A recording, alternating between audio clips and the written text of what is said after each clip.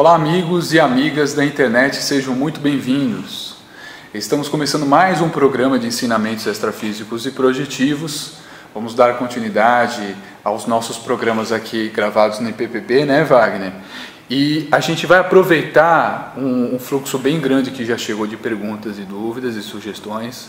O professor Wagner Borges vai começar daqui a pouquinho a responder essas perguntas. E também gostaria de agradecer toda a movimentação que vocês estão fazendo de acompanhar os nossos programas e que, na medida do possível, nós vamos trazer essas questões para dentro dos futuros programas e também nós vamos criar temas através dessas sugestões e da necessidade das respostas. Mas o, o fluxo maior é sobre as repercussões extrafísicas e da projeção astral, que agora o professor Wagner Borges vai trazer para a gente aqui nos vídeos, tá bom? Bom, lá, Wagner. Jefferson, legal, mais legal. uma gravação do programa, gente. E nós vamos dar continuidade depois ao programa anterior, Mecanismos Projetivos, Isso. a última parte que eu mostrei imagens no telão tem outras imagens para mostrar. É, nós faríamos isso nessa gravação de hoje, mas é que chegou um fluxo tão grande de perguntas e o pessoal está ansioso, fica cobrando a gente a, a, aqui a resposta. Então, nós vamos hoje fazer um programa com as perguntas que já chegaram aqui. Não dá para responder todas num programa só. No próximo programa respondo mais um pouco e complemento aquele tema da, do mecanismos projetivos. Hoje vamos dar então ênfase a, a, nas respostas. E lembrem-se bem, gente, o programa está focado principalmente na questão das saídas do corpo. Então é claro que as perguntas é, nós preferimos que sejam dentro dessa temática.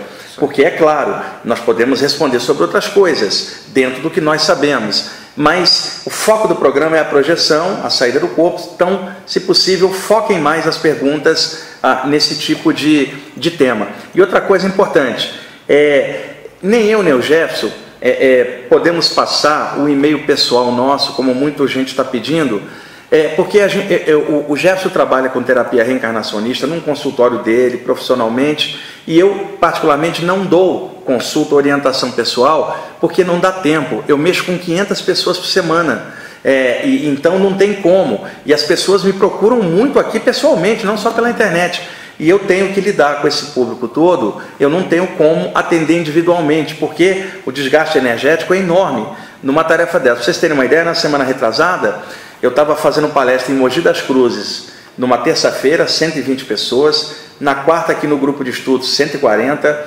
na sexta palestra, 200 pessoas, no sábado um curso com 50 e no domingo num congresso com mais 150.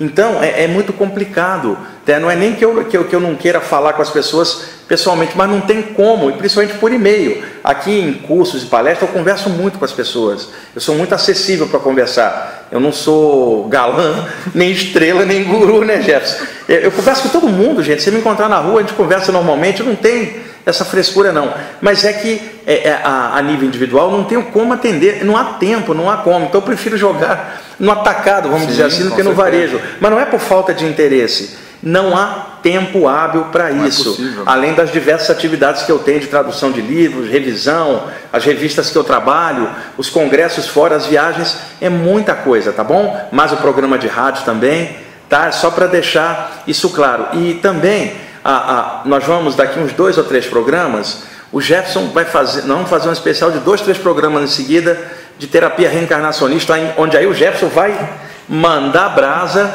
como o foco do, dos primeiros programas está sendo a projeção, eu estou falando mais, né? O Jefferson está me ajudando, claro. me acompanhando, mas daqui a pouco vai inverter isso. O Jefferson vai falar muito mais, eu vou ficar aqui ajudando ele então não tem essa questão de só eu estar tá falando, ou ter ego de ficar falando, não tem essa besteira. O Jefferson é amigão, meu parceiro de trabalho, a gente troca muita ideia e tem um conteúdo muito legal. Só que como a gente começou na questão das saídas do corpo, a gente focou nisso. Daqui a pouquinho a gente vai derivar também para esse outro tema.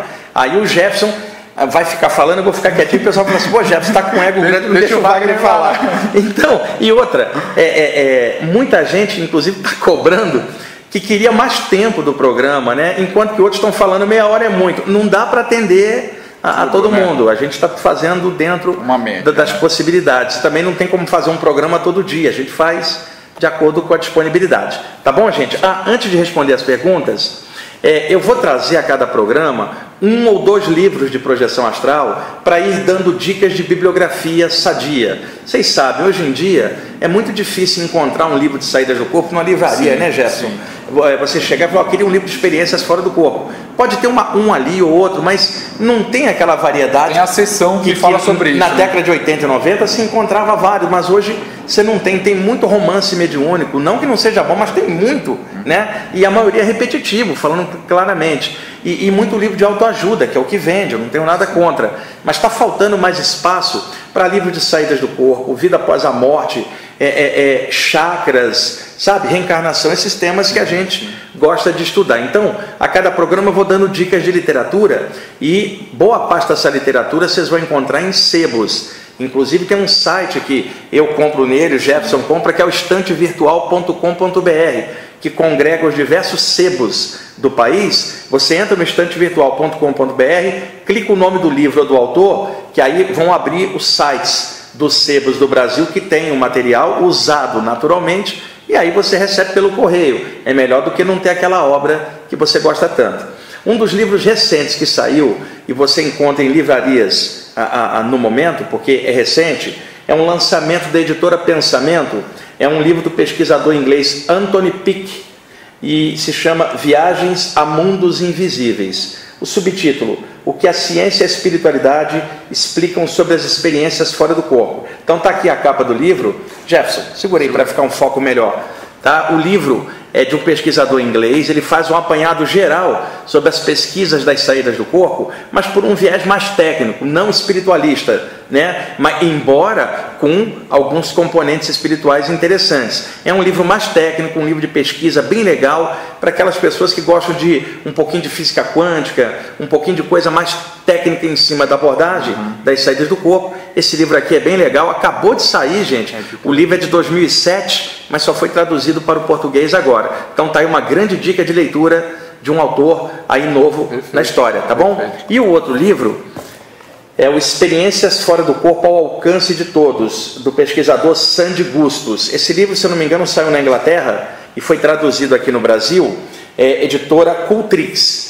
Tá? O, o Sandy Gustos faz nesse livro aí, gente, é, um apanhado geral das ideias do Valdo Vieira sobre saídas do corpo. E qual é o mérito do Sandy Bustos? Ele pegou e simplificou a abordagem, como se ele fizesse uma releitura em cima do trabalho do Valdo Vieira, mas com uma linguagem mais aberta, e não a linguagem de conscienciologia que o Valdo criou ao longo dos anos, que alguns gostam e outros não. Tá? Particularmente eu gosto de uma abordagem como essa, mais aberta, mais tranquila, mas eu entendo que tem pesquisadores que gostam de algo mais técnico. Agora, para a gente que trabalha com o público, que está em aberto e não isolado num canto, aberto, conversando com as pessoas, na rádio aqui, a abordagem tem que ser um pouco mais ampla, é, é, ampla, mais comunicativa, mais universalista. E ele consegue fazer isso extraindo assim ah, muita coisa boa do trabalho do Valdo Vieira e trazendo aqui nessa abordagem o que é legal. muito legal. Inclusive, o Valdo Vieira, antes de desencarnar, escreveu uma notinha sobre o livro, falando muito bem que, que o Sandy Gustos conseguiu capturar a atmosfera do trabalho dele de forma legal e eu concordo. Então, estou aí duas dicas de livros que vocês acham nas livrarias no momento. Nos próximos programas, ah, eu vou trazendo outros livros e vou indicando para vocês. Só vou indicar livro sério, é claro, é, é para quem quer pesquisar, se aprofundar, e sempre de ótica universalista. Eu não tenho rabo preso com área nenhuma, então eu vou trazer livros mais técnicos, outros mais espiritualistas, sabe? Assim, num conjunto geral, não tem fronteira. Está falando de saída do corpo e a abordagem é correta, a gente vai, quando eu digo correta, é séria. Não significa que você tem que concordar com tudo que está ali, mas uma abordagem sadia para que as pessoas possam ter um aprofundamento bom de bibliografia, né, Jefferson? Perfeito. Bom, vamos lá para as perguntas, Jefferson? Então vamos lá, a gente já deixou separado várias delas. Bom, a Edileia Souza manda um e-mail dizendo assim: Olá, Wagner, parabéns pelo projeto. Eu tenho imensa alegria em te dizer que hoje não me sinto apenas um corpo de carne, mas uma consciência. Pô, que legal, né? Tudo graças a você, Wagner. Há três anos que te sigo da Itália já passei por catalepsia e algumas experiências muito realísticas. Acredito que estava projetada. Sempre me falaram que a catalepsia era um ataque de pesadelo. Quanta ignorância. A minha pergunta é: é normal um som metálico, um zumbido fortíssimo dentro do ouvido? Por favor, Wagner, fale mais sobre esses sons no próximo vídeo. Agradeço também ao Jefferson, aí, que legal, Jefferson, pela colaboração nesse projeto belíssimo. E a você, amigos, meus parabéns e tal. Um grande abraço da tua amiga Edileia Souza. Edileia, um abraço para você. Eu não um lembro de você é, assim, muitas pelo pessoas. nome, muitas pessoas, mas você está aí na Itália. Um abração para você aí. Obrigado pela do Jefferson aqui. Né? Obrigado pela audiência Obrigado. aí na Itália. Seguinte, Edileia, ah, os zumbidos que ocorrem dentro da cabeça são chamados de zumbidos intracranianos não confundi-los com os zumbidos que aparecem dentro do canal auditivo, de um dos dois lados. Estamos falando de zumbidos que rolam dentro da cabeça. E esses ruídos variam muito de pessoa para pessoa. Então, por exemplo, pode acontecer como se fosse o estampido de uma arma, Jefferson. Pá! Bem no meio do crânio, antes de uma projeção ou na volta de uma. Às vezes um ruído rascante, como se algo rasgasse dentro da cabeça. E tantos outros sons que as pessoas vão associar com zumbido intracraniano. É claro que um otorrinolaringologista não vai entender como não é que um ruído está dentro da cabeça. Uhum. Vai mandar você para o neurologista. Uhum. E o neurologista, se não vai descobrir nada, vai mandar você para o preto velho. Como eu conheço vários casos, o neurologista, ó, vai seu caso é com o preto velho é mediunidade. Então, na questão das saídas do corpo, esses zumbidos intracranianos são muito comuns. Né? Milhares de relatos de pessoas antes de uma saída ou após na volta. Mas acontece que esses zumbidos também são muito comuns na área mediúnica. Médiums, em geral, narram muitos zumbidos dentro da cabeça. Então a gente poderia separar zumbidos anímicos ou mediúnicos. Mediúnicos, mediúnicos pela interferência de seres extrafísicos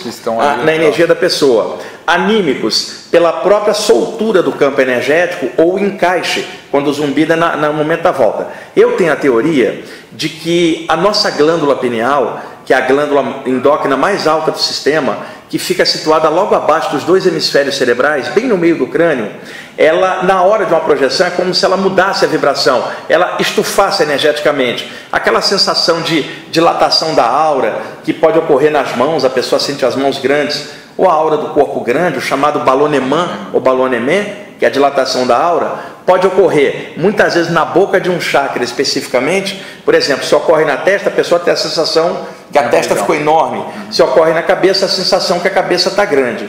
Ocorre que o chakra do topo da cabeça, o chakra coronário, em sânscrito Sahasrara, o lótus das mil pétalas, ele capta energia de cima e incide diretamente nos hemisférios cerebrais e na glândula pineal que está no meio, enquanto que a glândula hipófise, também chamada de pituitária, está ligada ao chakra da testa, e a pineal, também chamada de epífise, ligada ao chakra coronário. Então, antes de uma projeção, na maioria das vezes, essa glândula é como se a aura dela dilatasse um balonemã só da glândula pineal. Na hora que faz isso, é como se essa.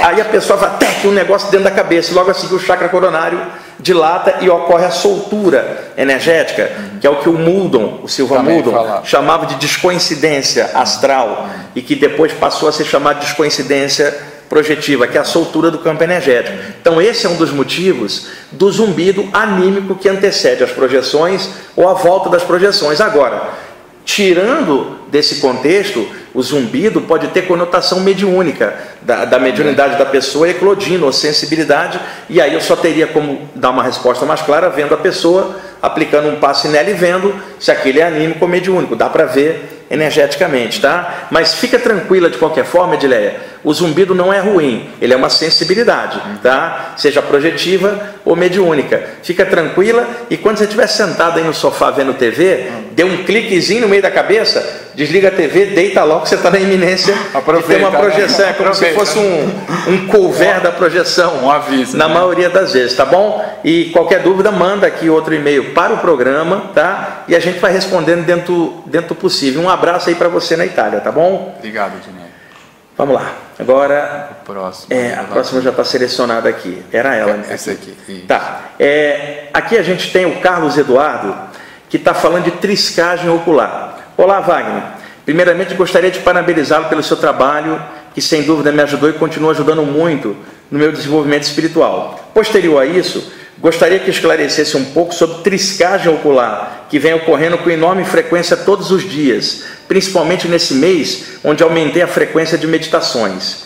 Já assisti a alguns vídeos de conscienciologia sobre esse tema, mas infelizmente não ficou muito claro para mim. Por favor, Wagner, esclarece sobre esse tema em vídeo, né? Que é o que a gente vai fazer agora. É o seguinte, ô, ô Carlos, quando uma pessoa está aumentando a, o tempo dela de meditação, ou se ela faz algum tipo de trabalho bioenergético, seja exteriorizando energia todo dia em casa ou em algum grupo, quer dizer, dentro da prática dela, seja lá o que for, vai haver uma ampliação da sensibilidade dela natural, né, Sim, né, o Gerson? Uma consequência. A, a aura da cabeça pode se dilatar, a aura do peito, a aura de qualquer um dos chakras principais pode se dilatar. Então o que, que acontece? É, se o chakra frontal está hiper energizado, ele vai energizar mais ainda os olhos, que é a sua área de atuação. E o chakra da testa é responsável pela clarividência, intuição, aprendizagem, conhecimento, visão e observação.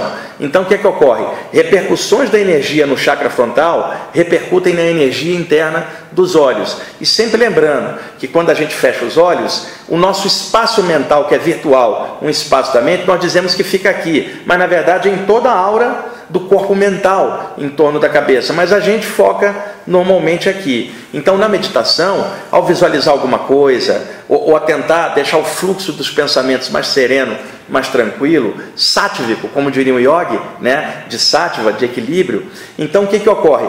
A, essa área fica hiperenergizada, mesmo que a pessoa esteja fazendo um relaxamento. Então é muito comum dar clarões dentro dos olhos, dar pequenos pontinhos brilhando. Agora, tem que tomar muito cuidado, a gente tem que ter o pé no chão. Então o que, que eu aconselho para você? vai fazer um exame de rotina no oftalmologista para ver se está tudo certinho, tá? Ah, vai fazer um exame de fundo de olho para ver a pressão do olho se está normal. Às vezes a pessoa tem, tem é, é, a pressão do olho alta, isso pode dar o escotoma, a sensação de pontinhos brancos, e a pessoa pensando que é um é efeito. É mediúnico ou de é, é, clarividência, exatamente mas é um problema não é. físico. Então, o, o, Carlos, fica tranquilo que isso aí é o seu campo energético se ajustando a uma nova frequência que você está impondo fazendo a meditação. E um cuidado também, evite excessos, mesmo práticas espirituais e meditação também tem que estar dentro do ponto de equilíbrio da vida humana da pessoa, é sem tirar você da frequência normal do dia a dia de ser uma pessoa normal, conversar com todo mundo, viver o normal, trabalhar, se relacionar, ter prazer, ir ao cinema e à praia, estudar e avançar consciencialmente também. Quer dizer, é um trabalho sempre de equilíbrio. Então, coloca a meditação e suas práticas psíquicas ou espirituais dentro de um contexto normal, que não te tire a sensibilidade. Tá? Observa bem se você aumentou a frequência demais, né? aí puxa um pouquinho, regula, vamos chamar assim, ou se está de menos amplia, você que vai descobrindo. Mas é, se acostuma com essas sensações de, de clarões e, e, e centelhas que pode ocorrer indiretamente, porque o chakra frontal ativando ele pode causar isso. Agora, isso vai ser temporário, daqui a pouco o seu campo energético vai se ajustar ao que você está fazendo. É igual a musculatura, né? Você aumentou Sim. a frequência dos exercícios, Sim. de repente fala, caramba. Você deu né? um ganho. Né? Deu um ganho muscular. Pode haver a mesma coisa nos chakras na questão psíquica, tá bom? Bom, e obrigado aí por você ter mandado a mensagem. pergunta, tá? Bom, aqui nós temos o Anderson. Olá, primeiramente parabéns pelo trabalho. Muito grato pelo conteúdo disponibilizado por vocês. Aí, legal, né, Gerson? Obrigado. Obrigado tá? aí, Anderson. Em algum vídeo do Wagner Borges, ele tocou na questão do animismo e mencionou o yoga. Ele disse que no yoga a questão anímica é trabalhada de outra forma. Peço que possível ele fale mais a respeito. É o seguinte, o Anderson, você deve ter visto algum material em que eu estava, principalmente lá no programa da rádio, é o mais provável, no Viagem Espiritual. É, eu estou há 17 anos lá no ar. E recentemente eu fiz alguns programas falando de sensibilidade anímico-mediúnica, explicando mais a questão da mediunidade, né? E estava separando os fenômenos anímicos dos fenômenos mediúnicos. O que, que eu comentei então? Que dentro do Espiritismo, dentro da Umbanda, dentro do Candomblé, se trabalha mais a mediunidade, a, a, relação com o mundo espiritual. É claro que os parâmetros doutrinários do Espiritismo são diferentes da Umbanda, que são diferentes do Candomblé. Eu não estou questionando isso. Eu estou falando do fenômeno mediúnico que é comum a essas três áreas, trabalhado de formas diferentes, é claro, em cada uma dessas áreas dentro da sua perspectiva, tá? Pois bem, o que eu estou falando é que essas áreas dão muita ênfase em torno do que é mediúnico.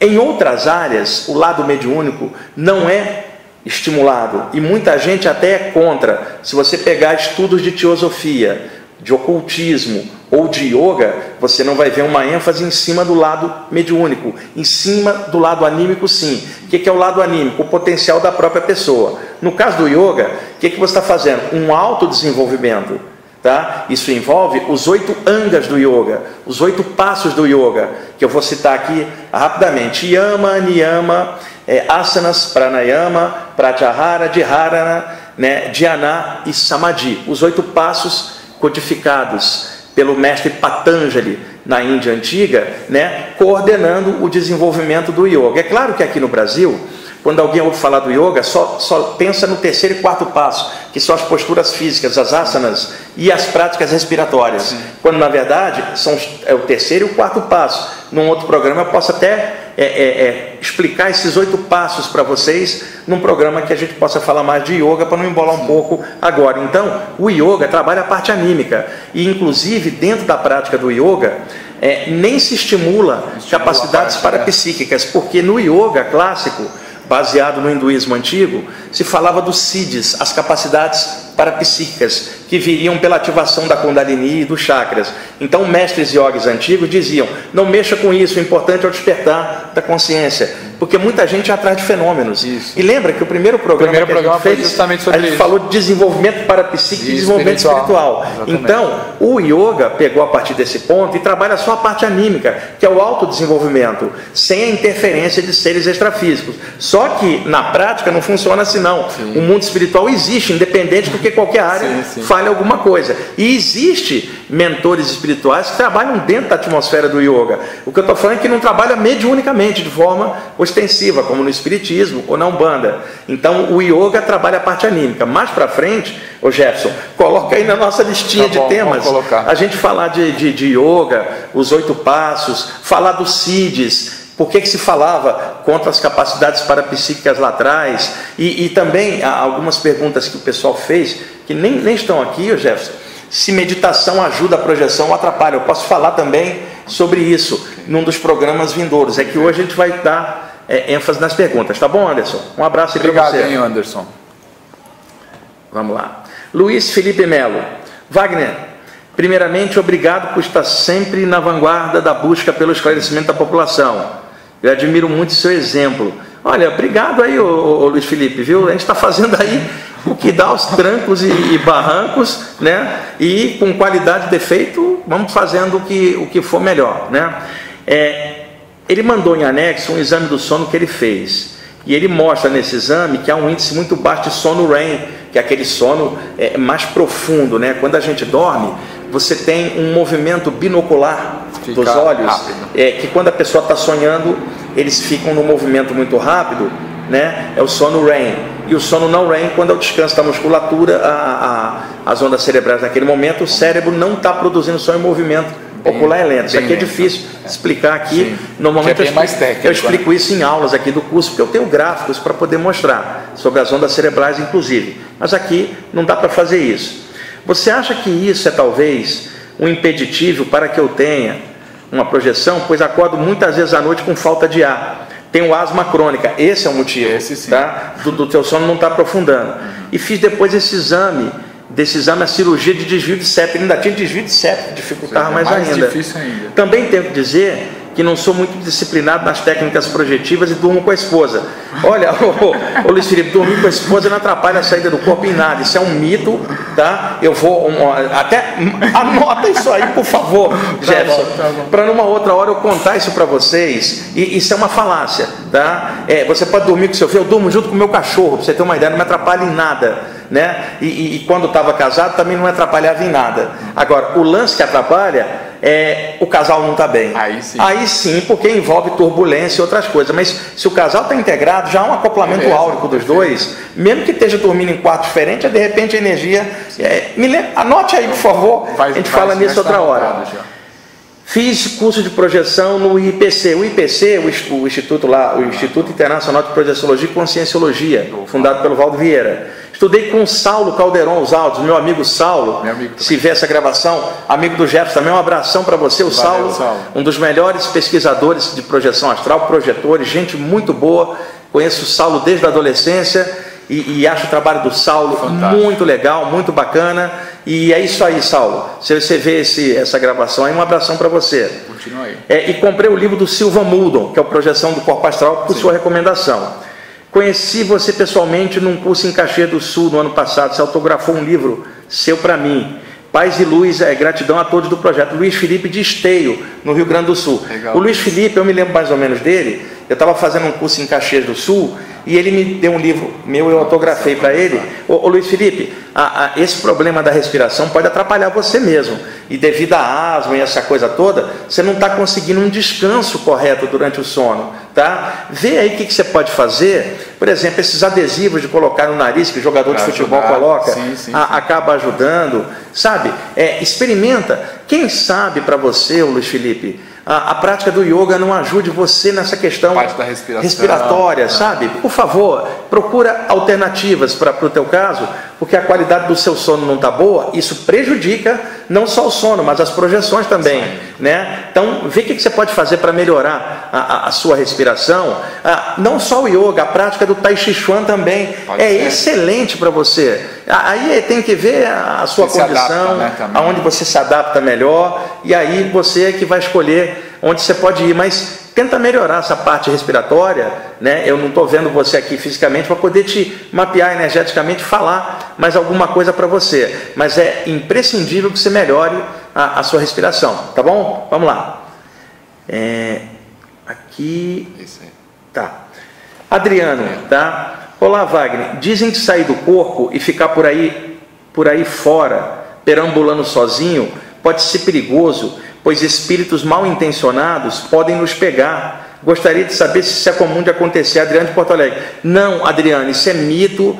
É, é, muitas pessoas falam isso por desconhecimento do tema, tá? O, os espíritos são atraídos para as pessoas não porque elas estão fora ou dentro do corpo, mas pelo que elas pensam, o que elas sentem, o que elas fazem, que gera a média da energia do caráter da pessoa na aura dela. Aliás, a maioria dos ataques espirituais e abordagens não são na saída do é corpo, é aqui, é, intrafisicamente na vigília. Porque uma das armas é melhor, a, que, que, os assediadores extrafísicos têm é invisibilidade, né, é, Jefferson? então, quando você está dentro do corpo, preso a, a, aos cinco sentidos, a né, matéria, a essa percepção, né? você não vê às vezes um assédio espiritual. Acontece que na hora que você sai do corpo, você pode ver o que já estava rolando durante o dia e você não via. Não é que a saída do corpo traz os espíritos, ela pode mostrar que havia um espírito perto na vigília e que você só, dá, só se dá conta na hora que você sai do corpo. Então, o ideal, estende as mãos extrafísicas, as paramãos dão um passe, enche de luz o ambiente. Ou então, antes de deitar, faça um trabalhinho de energia e envolve o seu ambiente em luz, da forma que você quiser. Vai ter gente que faz isso mediante a prece,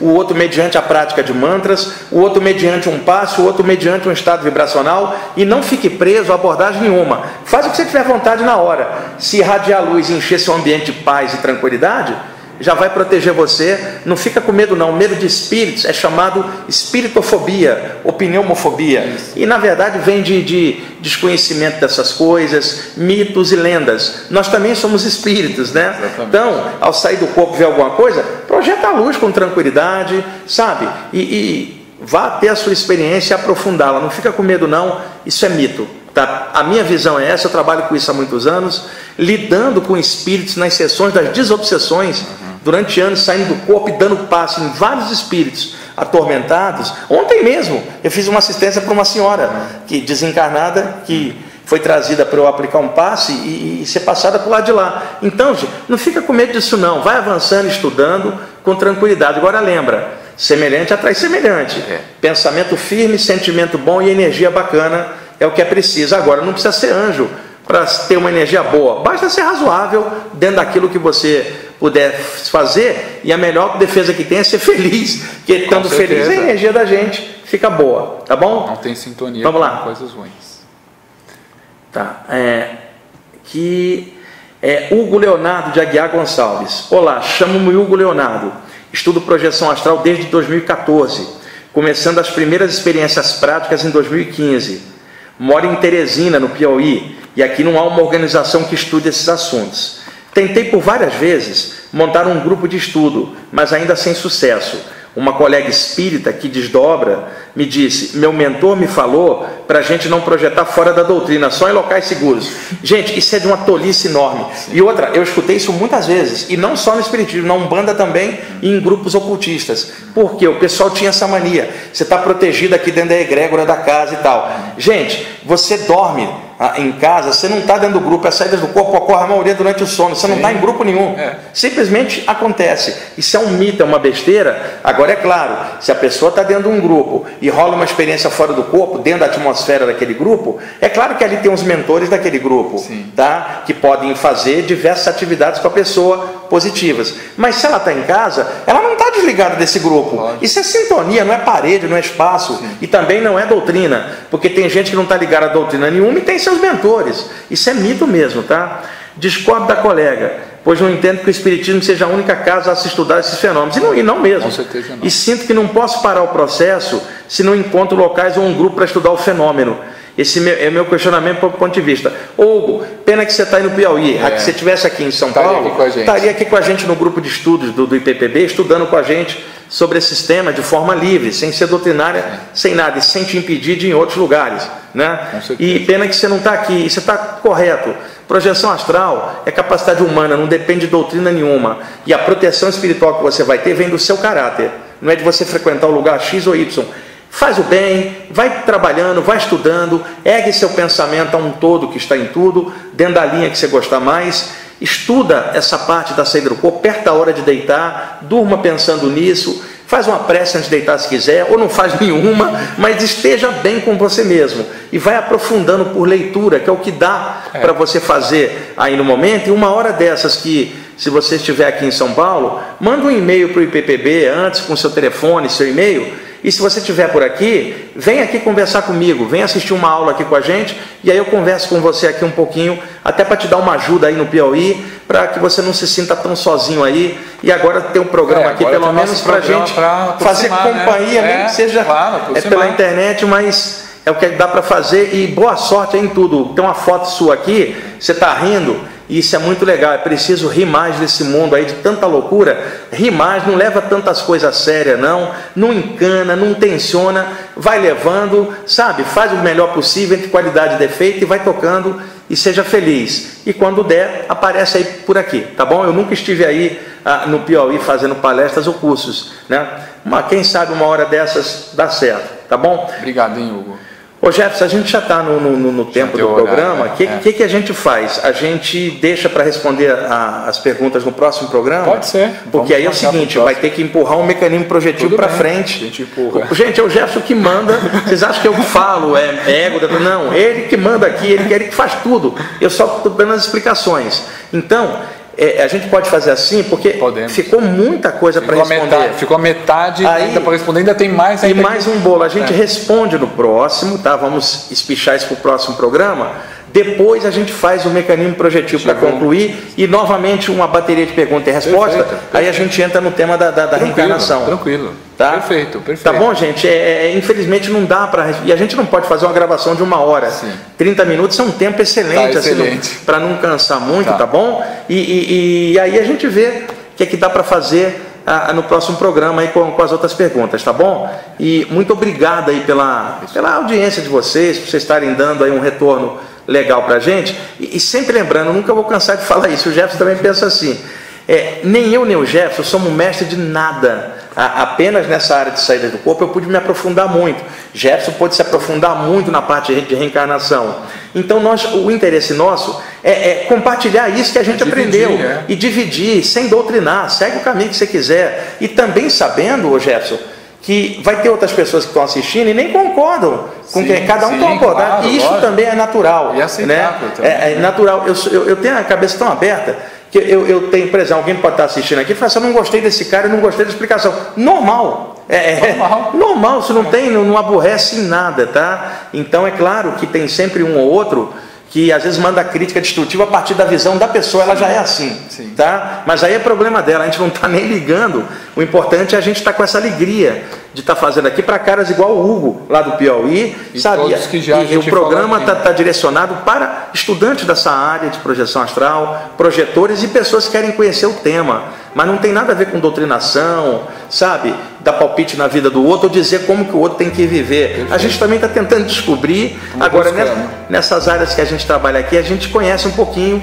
e aí dá para aprofundar, pelo menos do jeito que a gente sabe que é esse. Mas eu sei que tem outras abordagens de outras áreas e desse mesmo tema também tão boas quanto essa. E aí cada um deve ver o que, que pega de bom disso tudo e toca a bola e recusar o que achar que não bateu, que não valeu a pena e não encaixou com o que vamos, pensaria. Na hora que o Jefferson estiver falando de reencarnação aqui, vai ter gente, Sim, claro. ah, não sei o que, eu não acredito nisso. Isso é normal. Ainda mais né? a reencarnação que é um tema super polêmico. É, e aí a gente vai fazer aquelas perguntas clássicas. Eu vou até, na hora de não, fazer vamos, umas perguntas para. É, né, por que, que se há reencarnação a população da Terra aumenta? Por que, que uns reencarnam mal, outros reencarnam bem? E daí essas coisas todas que aí, aí vocês vão ver como o Jefferson é craque nesse tipo de tema, tá bom? Legal. Gente, obrigado aí por tudo. Jefferson.